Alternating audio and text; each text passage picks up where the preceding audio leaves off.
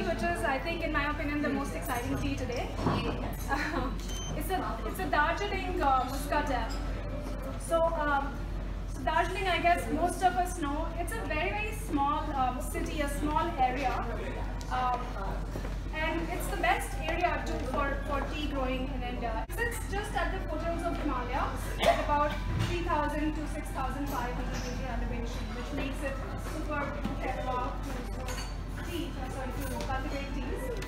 And it's also got, you know, um, an intermittent sunny and chilly, so it's as it's as protected as that.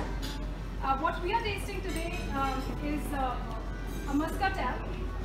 Uh, muscatel is the second flush. So Darjeeling has four flushes. The first flush, which is the which is the best in terms of you know it comes out.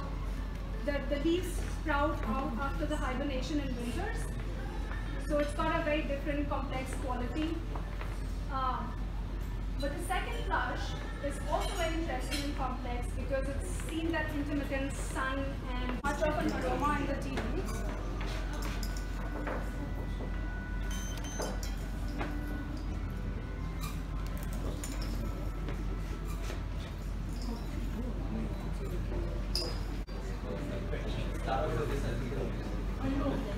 You.